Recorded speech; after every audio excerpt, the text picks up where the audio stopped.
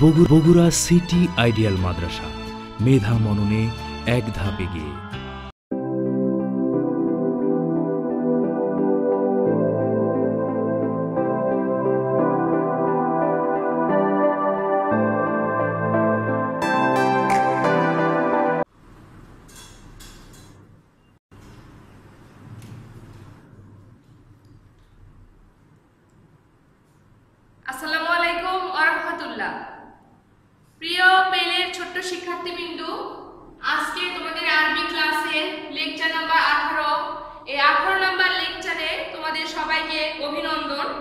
তো আজকে আমি এই আঠারো নম্বর লেকচারে আবারও কিছু মৌখিক পড়া নিয়ে চলে এসেছি। তো আমি আলোচনা করব ছন্দ ছড়ায় যে আরবি বর্ণমালা শেখা অংশ আছে তোমাদের এখানে। তো সেই বিষয়গুলো নিয়ে আলোচনা করব। তো এখানে দেখো আলোচনা করব আমি ছন্দ ছড়া তোমাদের বইয়ের পৃষ্ঠা নাম্বার সাত পৃষ্ঠা নাম্বার সাত এই সাত নাম্বার পৃষ্ঠায় আরবি বর্ণ দিয়ে ছন্দ ছড়া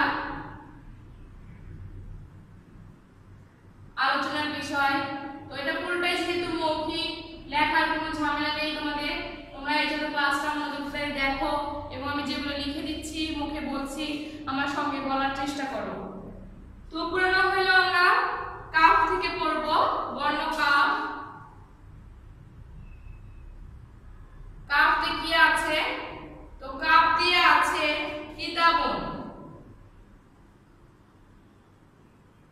কিতাবন কিতাবন অর্থ বই কিতাবন অর্থ বই তো ছন্দ ছড়া লেখা আছে কিতাবন পড়লে বাড়বে জ্ঞান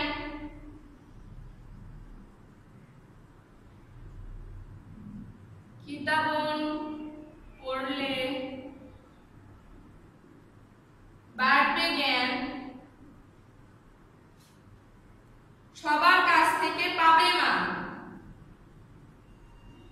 সবার কাছ থেকে পাবে মান মান মানে সম্মান বোঝানো হয়েছে এখানে তো তাহলে পুরো ছন্দটা অনেক মজার ছন্দ ও দেওয়া আছে কাপতে কিতাবন কিতাবন অর্থ বই কিতাবন পড়লে বাড়বে জ্ঞান সবার কাছ পাবে মান।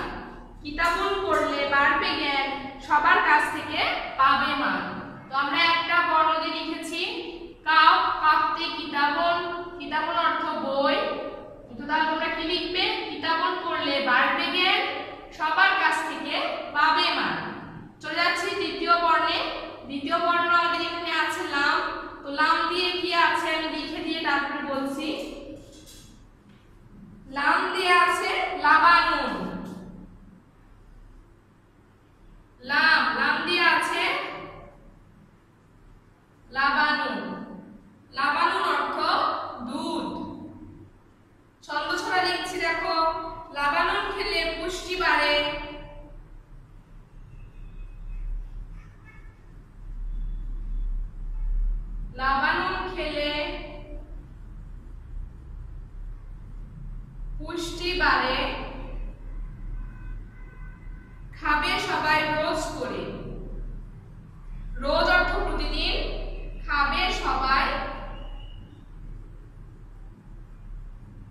row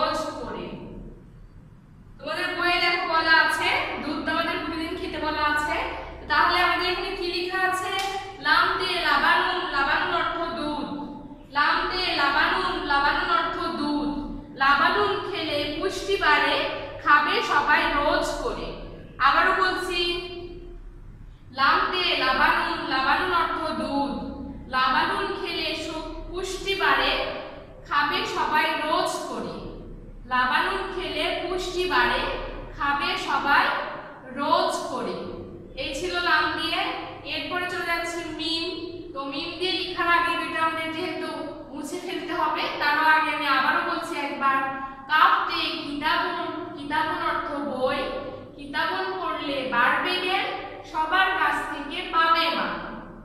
কিতাবন পড়লে বাড়বে জ্ঞান, সবার কাছ থেকে পাবে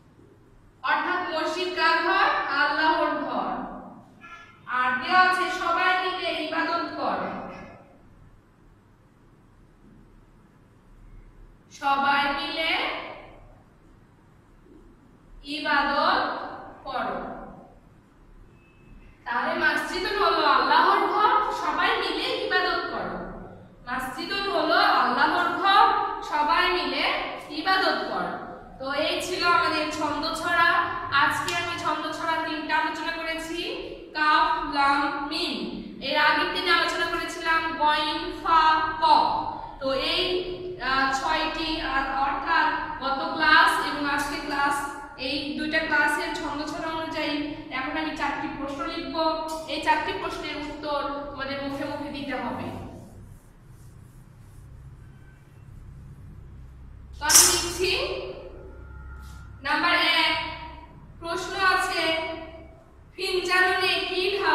তোমরা কিন্তু এটা পড়েছো। ফিনজা নুনে কি ঢালো এটা আমাদের প্রশ্ন। তো তোমরা কি পড়েছো? ফাতে ফিনজানুন ফিনজানুন অর্থ চায়ের কাপ ফিনজানুনে চা ঢালো সময় করে খেয়ে ফেলো তোমরা কিন্তু শিখেছো তাহলে ফিনজানুনে আমরা কি ঢালবো চা ঢালবো ফিনজানুনে আমরা কি ঢালবো চা ফিনজানুনে চা ঢালো নাম্বার দুই প্রশ্ন আছে কোরআনুন কার বাণী তোমরা এটা আজকেই পড়েছো অর্থাৎ আজকে না গত ক্লাসে পড়েছো কোরআনুন কার বাণী বলো তো কার বাণী তোমরা সবাই মোটামুটি পারছ তাই না তাহলে কোরআনুন আল্লাহর বাণী এখানে উত্তর হবে কি আল্লাহর কোরআনুন আল্লাহর বাণী কোরআনুন কার বাণী কোরআনুন আল্লাহর বাণী চলে যাচ্ছে তিন নাম্বার গুড়ফাত কীভাবে রাখব অর্থাৎ গয়েন্টে ছিল গুড়ফাত কীভাবে রাখব? গুড়ফাত সদা গুছিয়ে রাখো, তাই বলেছিল। তো আমরা সেটাই লিখব। গুড়ফাত কীভাবে কীভাবে রাখব? তো বলো কীভাবে রাখব? সদা গুছিয়ে রাখব। গুরফাত সদা অর্থ সবসময় গুছিয়ে রাখব। গুছিয়ে গুছিয়ে রাখব। গুরফাত সবসময় গুছিয়ে রাখব, অর্থাৎ গুরফাত সদা গুছিয়ে রাখব। নাম্বার চার, প্রশ্ন আছে লাবানুন খেলে কি হয়? লাবানুন খেলে কি হয় কি হয় এখনই পড়েছো তোমরা লাবানুন খেলে পুষ্টি বাড়ে তাই না তাহলে এটা উত্তর কি হবে লাবানুন খেলে পুষ্টি বাড়ে লাবানুন খেলে পুষ্টি বাড়ে লাবানুন খেলে কি হয়? উত্তরে তোমাদের হবে লাবানুন খেলে পুষ্টি বাড়ে। লাবানুন খেলে পুষ্টি বাড়ে। এই ছিল আজকের মতো প্রশ্ন উত্তর পড়া। আমি ছন্দ ছড়া নিয়ে আলোচনা করেছি, সাথে আলোচনা করলাম প্রশ্ন উত্তর নিয়ে। আশা করি সবাই বুঝতে পেরেছ। এর পরবর্তী ক্লাসে আরও নতুন পড়া নিয়ে আলোচনা করার চেষ্টা করব। ততক্ষণ আজকের মতো আমি বিদায় নিচ্ছি। সবাই ভালো থাকো, সুস্থ থাকো। দেখা হবে আবারও আরেকদিন। আজকে বিদায় নিচ্ছি। আল্লাহ হাফিজ।